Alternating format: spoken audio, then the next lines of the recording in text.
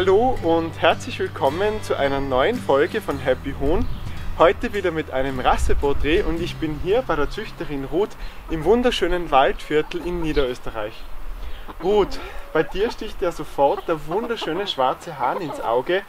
Was für eine Rasse züchtest du denn hier genau? Ich züchte das Appenzeller Barthuhn Mhm. in drei Farbschlägen. Wow, es gibt glaube ich auch nur drei, gell? Genau, Ähm, ist eine Schweizer Rasse, oder? genau. Das ist eine Schweizer Landhuhnrasse. Äh, Ruth, wie würdest du den Charakter der Appenzeller Barthühner beschreiben? Ist es eher eine ruhige Rasse oder temperamentvoll? Mm, Sie sind schon temperamentvoll, aber sehr zugänglich und sie bleiben auch brav im eingezäunten Bereich im Vergleich zu anderen Rassen. Okay, welche zum Beispiel hast du, die, die gern ausbüchsen? Äh, die schwedischen Blumenhühner, die sind sehr gerne ausgerissen. Und wahrscheinlich auch die Appenzeller Spitzhauben, Appenzeller oder? Spitzhauben, Weil die, die sind schon so wuselig. Genau. Aber sie ist ja eine wunderschöne Henne. Ähm, kannst du uns auch was von der Legeleistung her sagen? Sind sie eher gute Leger oder Mittelfeld? Äh, Appenzeller Barthühner legen um die 150 Eier im Jahr, Mhm, Also so typisch für eine alte Landrasse Genau. eigentlich. Aber relativ große Eier mit 55 bis 60 Gramm. Wow. Und sie sind natürlich äh, gerade jetzt in Österreich in den schneereicheren Lagen auch super winterhart durch den Bart, denke ich mal, oder? Genau. Okay. Du bist hier ja auf 800 Metern Seehöhe. Ähm, also bei dir wird es im Winter wahrscheinlich auch ordentlich kalt. Ja, und viel Schnee haben wir auch. Okay, das ist für die Barthühner jetzt kein Problem, oder? Nein, ist kein Problem.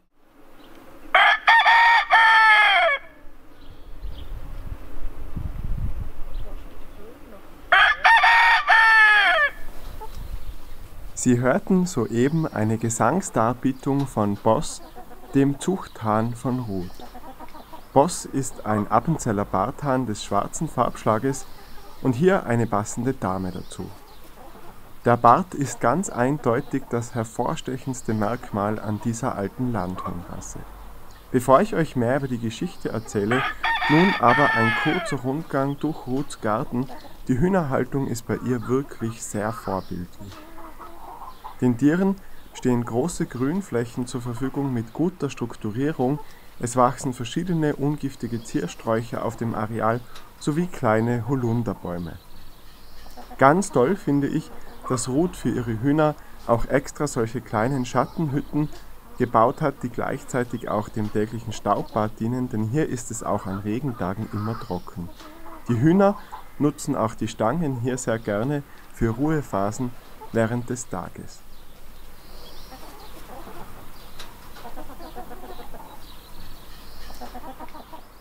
Die Appenzeller Barthühner sind nicht nur nach ihren Bärten benannt, sondern auch nach ihrer Heimatregion, dem Appenzeller Land in der Schweiz. Appenzeller Barthühner sind mindestens seit der Mitte des 19. Jahrhunderts bekannt, die Rasse ist also mindestens 170 Jahre alt. Zu den Vorfahren der Appenzeller Barthühner dürften neben Landhühner, also typischen Schweizer Bauernhühnern, auch Hühner mit Bärten zählen und da waren zu der Zeit, also Mitte 19. Jahrhunderts, vor allem Baduaner und Pavloskaya im Umkreis. Irgendwelche Hühner aus diesem Verwandtschaftskreis dürften die Bärte an die Appenzeller Barthühner vererbt haben. Die Rasse ist nicht nur wegen der Bärte sehr kältetolerant, sondern auch wegen des Rosenkammes. Der Rosenkamm ist übrigens auch ein wichtiges Unterscheidungsmerkmal zu den Thüringer Barthühnern.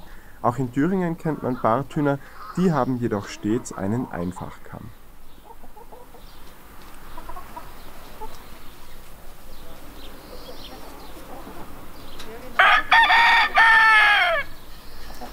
Kräht viel.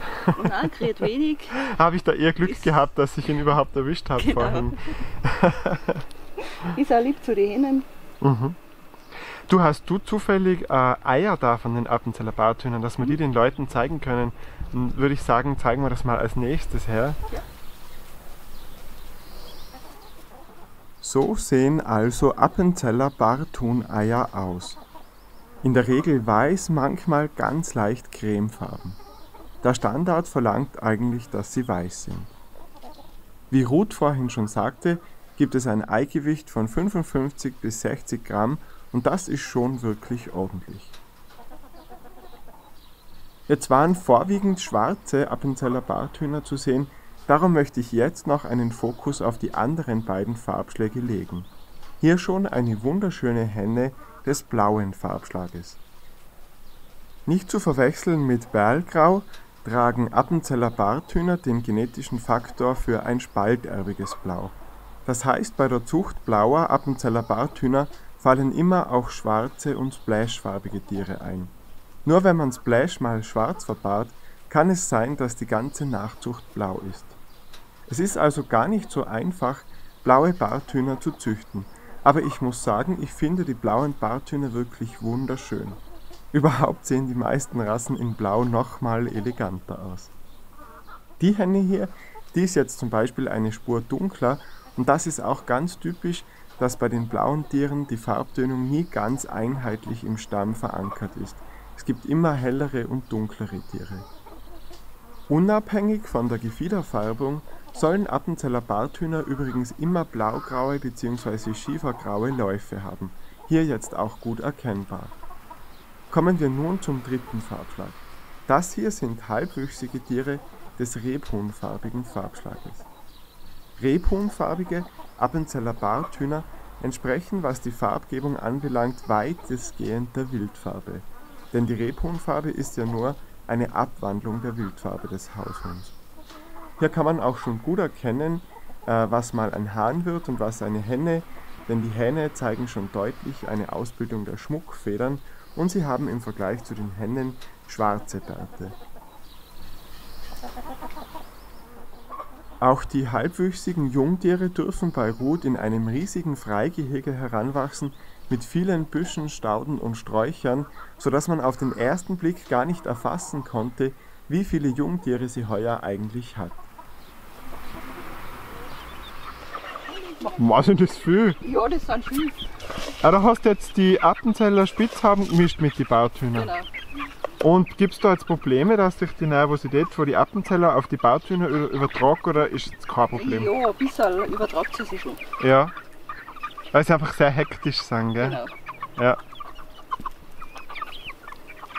Und hier ist schön wuselt. verschiedene Formen gell? Cool.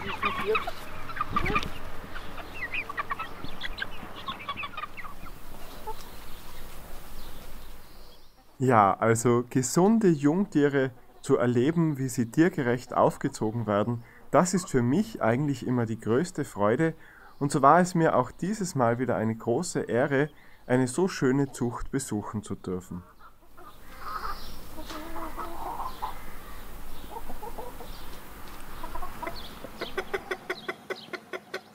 Im Laufe der Jahre habe ich euch bei Happy Huhn gar nicht wenige Hühnerrassen mit Bärten vorgestellt. Wenn euch Hühner mit Bart interessieren, wäre zum Beispiel die Orloff-Folge interessant, das war Folge 41. Einen Bart tragen auch die Baduaner Hühner, die habe ich euch in Folge 74 von Happy Huhn näher gebracht.